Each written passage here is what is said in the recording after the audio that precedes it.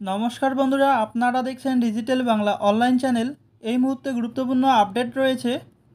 চ্যানেলে নতুন দর্শক হলে অবশ্যই চ্যানেলটিকে সাবস্ক্রাইব করে পাশে থাকা বেল আইকনটি অন করে রাখবেন।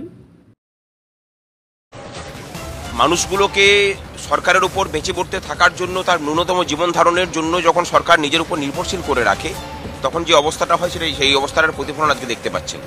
এমনটা তো নয় যে মানে সব মানুষই যারা এখানে এসেছেন যে সবাই খারাপ মানুষ, তাও নয়। সবাই যে চুরির ভাগ পাচ্ছেন, তাও নয়।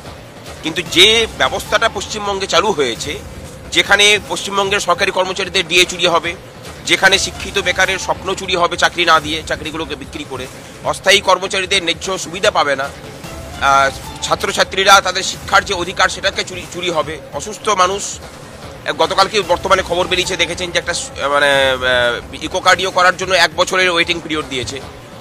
এই যে নেই রাজ্যের একটা বাসিন্দাতে পরিণত হয়েছি আমরা এখান থেকে পরিত্রাণের একটাই উপায় সেটা হচ্ছে মানুষের অধিকারগুলোকে সুরক্ষিত করা।